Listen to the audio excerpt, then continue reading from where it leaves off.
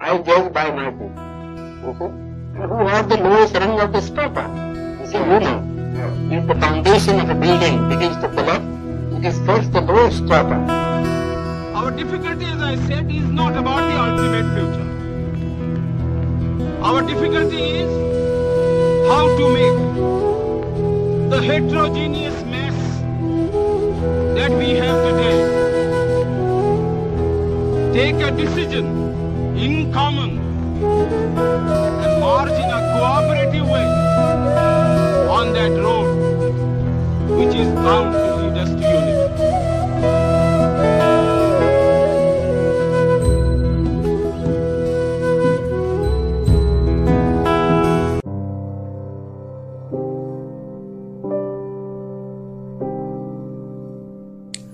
Jai B ನಾನು ಅರುಣ್ ಅಂಬೇಡ್ಕರ್ ಓದಿಗೆ ಸ್ವಾಗತ ಡಾಕ್ಟರ್ ಬಾಬಾ ಸಾಹೇಬ್ ಅಂಬೇಡ್ಕರ್ ಅವರ ಮಹತ್ವಪೂರ್ಣ ಸಂಶೋಧನಾ ಕೃತಿ, ಶೂದ್ರರು ಕೃತಿ ಓದಿನ ಮುಂದುವರಿದ ಭಾಗ. ವಸಿಷ್ಠ ಧರ್ಮ ಸೂತ್ರದಲ್ಲಿ ಶೂದ್ರನ ವಿರುದ್ಧ ಇರುವ ಅನರ್ಹತೆಗಳು ಕೆಳಕಂಡಂತಿವೆ. ನಾಲ್ಕು ವರ್ಣಗಳ ಪೈಕಿ ಬ್ರಾಹ್ಮಣ, ಕ್ಷತ್ರಿಯ ಮತ್ತು ವೈಶ್ಯರು ದ್ವಿಜರಾಗಿದ್ದಾರೆ. ಅವರ ಮೊದಲನೆಯ ಹುಟ್ಟು ತಾಯಿಯಿಂದ ಆಗಿದೆ ಮತ್ತು ಎರಡನೆಯ ಹುಟ್ಟು ಜನಿವಾರದಿಂದ ಆಗಿದೆ. ಎರಡನೆಯ ಹುಟ್ಟಿನಲ್ಲಿ ಸಾವಿತ್ರಿಯು ತಾಯಿಯಾದರೆ ಗುರುವು ತಂದೆಯಾಗಿರುತ್ತ. ವೇದಗಳನ್ನು ಓದಿಸುವುದರಿಂದಾಗಿ ಗುರುವು ತಂದೆಯಾಗಿರುತ್ತಾನೆ.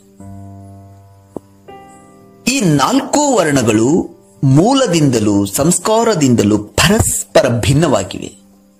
ವೇದದಲ್ಲಿ ಹೇಳಿರುವ ಟಿಪ್ಪಣಿಯು ಇಂತಿದೆ. ಬ್ರಾಹ್ಮಣನು ಸೃಷ್ಟಿಕರ್ತನ ಬಾಯಿಂದಲೂ, ಕ್ಷತ್ರಿಯನು ತೋಳುಗಳಿಂದಲೂ, ವೈಶ್ಯನು ತೊಡೆಯಿಂದಲೂ ಮತ್ತು ಶೂದ್ರನು ಪಾದದಿಂದಲೂ ಹುಟ್ಟಿದರು. ವೇದದಲ್ಲಿರುವ ಮುಂದಿನ ಟಿಪ್ಪಣಿಯಲ್ಲಿ ಶೂದ್ರನಿಗೆ ಸಂಸ್ಕಾರ ನೀಡುವಂತಿಲ್ಲ ಎನ್ನಲಾಗಿದೆ. ಸೃಷ್ಟಿಕರ್ತನು ಬ್ರಾಹ್ಮಣನನ್ನು ಗಾಯತ್ರಿ ಛಂದಸ್ಸಿನಿಂದಲೂ, ಕ್ಷತ್ರಿಯನನ್ನು ತ್ರಿಸ್ತುಭ ಛಂದಸ್ಸಿನಿಂದಲೂ ಮತ್ತು ವೈಶ್ಯನನ್ನು ಜಗತಿ ಛಂದಸ್ಸಿನಿಂದಲೂ ಸೃಷ್ಟಿಸಿದನು. ಆದರೆ ಶೂದ್ರನು ಯಾವುದೇ ಛಂದಸ್ಸಿನಿಂದಲೂ ಸೃಷ್ಟಿಯಾಗಿಲ್ಲ. ವೈದ್ಯ, ಬೇಡ, ಕೆಟ್ಟ ಚಾರಿತ್ರವುಳ್ಳ ಹೆಂಗಸು, ಗದೆಯನ್ನು ಹೊರುವವರು, ಕಳ್ಳ, ಅಭಿಶಾಸ್ತ್ರ ಹಿಜಡ ಮತ್ತು ಜಾತಿಹೀನನು ನೀಡಿದ ಆಹಾರವನ್ನು ತಿನ್ನಬಾರದು. ಜಿಪುಣ ಸ್ರೌತ ಯಾಗವನ್ನು ಆರಂಭಿಸುವಾಗ ಕೈದಿ ರೋಗಿ ಸೋಮಲತೆಯನ್ನು ಮಾರುವವನು ಬಡಗಿ, ಅಗಸ, ಮದ್ಯ ಮಾರಾಟಗಾರ, ಗೂಢಾಚಾರ, ಬಡ್ಡಿ ವ್ಯವಹಾರ ನಡೆಸುವವನು ಮತ್ತು ಚಮ್ಮಾರನು ನೀಡುವ ಆಹಾರವನ್ನು ಸೇವಿಸಬಾರದು. ಹಾಗೆಯೇ ಶೂದ್ರನು ನೀಡಿದ ಆಹಾರವನ್ನೂ ಸೇವಿಸಬಾರದು.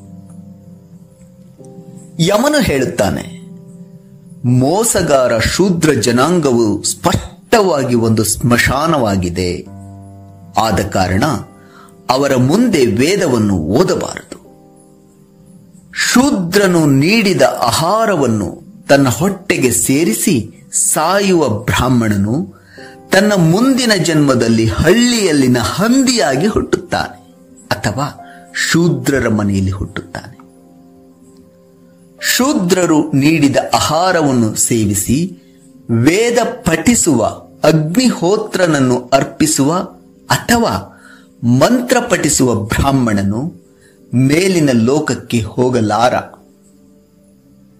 ಬ್ರಾಹ್ಮಣನ ವಿರುದ್ಧ ದ್ವೇಷ ಭಾವನೆ ಹೊಂದಿರುವುದು ಅಸೂಯೆ ಪಡುವುದು ಅಸತ್ಯ ಹೇಳುವುದು ಮತ್ತು ಕೆಟ್ಟ ಮಾತುಗಳನ್ನಾಡುವುದು ಶೂದ್ರನ ಲಕ್ಷಣವಾಗಿದೆ.